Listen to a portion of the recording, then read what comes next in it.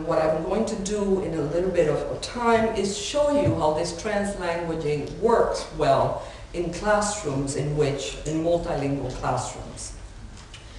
Um, I want to remind you that translanguaging, for those of you who know a lot about code switching, includes code switching, but it also includes other sense-making, these discursive practices. All the discursive practices grounded in bilingual use. So this is a, a use that is very much grounded in bilingual communities and families.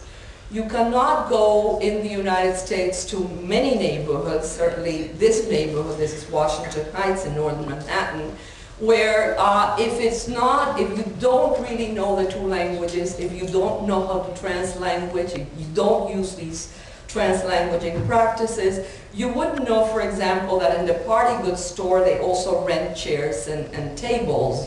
Uh, and uh, a Nuevo Twist and Refreshment is also part of this translanguaging, uh, appealing both to speakers of Spanish and English. But the idea, of course, is that in order to make sense of these bilingual signs, you have to really speak both. Uh, and certainly this is my family, but what I want to say here is that uh, in all bilingual families, it is impossible not to translanguage in order to make sense of what happens uh, at the dinner table, uh, you have to go from one language to another because indeed uh, these are uh, the only way to make sense of a bilingual family. Certainly when you watch TV, people go from one channel to the other. When you want to include my mother, or when you want to exclude her, or when you want to, uh, or when you want to include one of the in-laws or exclude her. So this translanguaging is common in bilingual uh, communities and families. So just again to repeat and to make sure that we all understand, I'm defining translanguaging as sense-making bilingual practices from the speaker's perspective and not from a language perspective as code switching has often been studied. So it's from the speaker's perspective, it is sense maker making. It is more than from a speaker's perspective, it's from a bilingual speaker's perspective and not from a monolingual or monoglossic perspective. And again, I'll repeat the definition. It includes all student or teacher use of these bilingual multiple discursive practices as sense-making of learning or teaching in multilingual classrooms. I'm going to go through four classrooms and uh, to show you how some of this is uh, done in the United States. I realize these are very different contexts, uh, than those that you have. But I'm hoping that you can imagine and reimagine what it might be like. Uh, we don't have our act together. We can talk a lot about how uh, difficult these situations are and how attacked bilingualism has been in the United States in the last uh, administration, at least in the last eight years.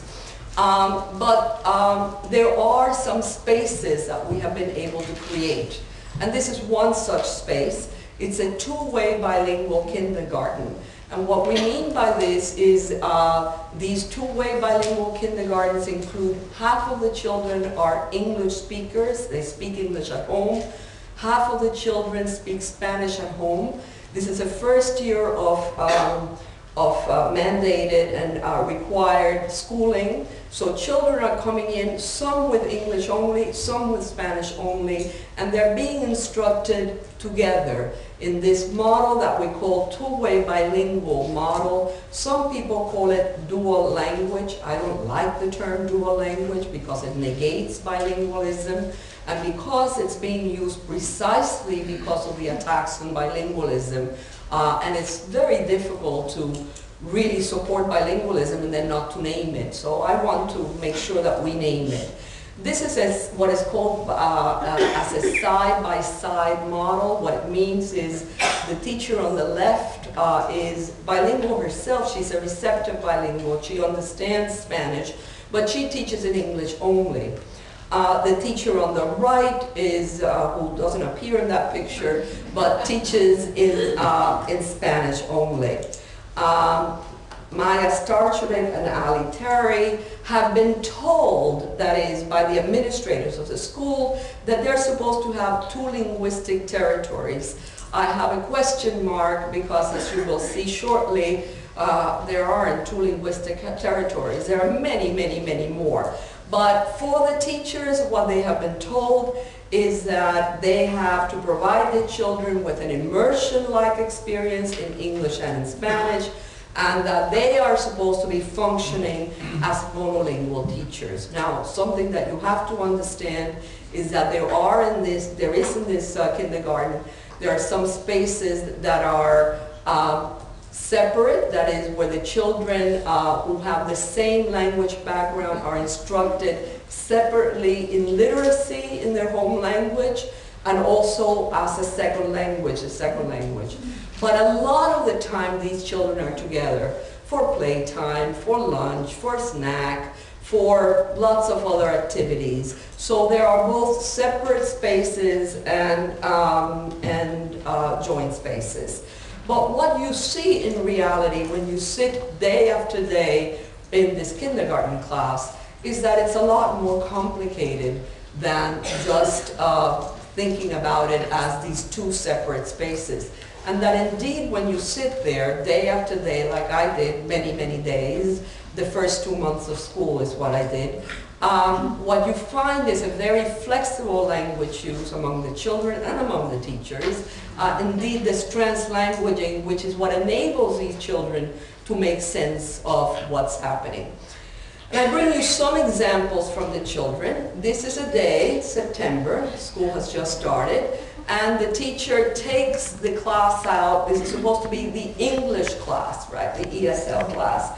And I'm sitting next to Alicia outside, and the teacher is going through some comparative exercise. This tree is bigger, that tree is smaller, whatever. And uh, if you ever sat with kindergartners, you know they, they talk out loud all the time, right? so I'm sitting next to Alicia, and she's trying it out under her breath, and she says, this tree is grande, which is, of course, grande from the Spanish, and of course, some of what the teacher was doing. So a way of making sense of this new language for Alicia includes this translanguaging, this way of going back to what she knows and sort of bringing it forth. These bits and pieces that I call them, just bringing them, um, bringing it forth. Here's an example of snack time, where it's one of these heterogeneous spaces where the kids are mixed. And Adolfo and Beatriz are having a snack, Adolfo does not speak English, uh, and he's looking out the window and he's talking to himself, as they always do. And he says in Spanish to himself, está lloviendo mucho, which means it's raining a lot. And of course, then he looks up and he realizes that most of the kids around the table are not Spanish speakers, so he realizes, so he says, look, and then he says, it's washing. He knows washing. There's washing afuera, he says. And Beatriz, who is bilingual, because one of the other things I wanted to tell you is that despite the efforts to do this 50-50, this 50-50 doesn't make any sense because these kids uh, might be seen as speaking one or the other in, at home, but indeed, there again, the bilingual continuum, the problem is the category. You can't categorize this when people are seen not as learners or having or not having, but as users. People use or not use in different kinds of ways.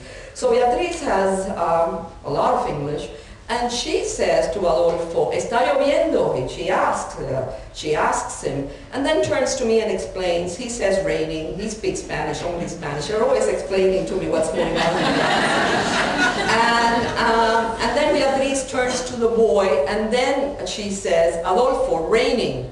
And Adolfo repeats it, raining. So again, all this translanguaging to make sense of what's going on in a very positive way.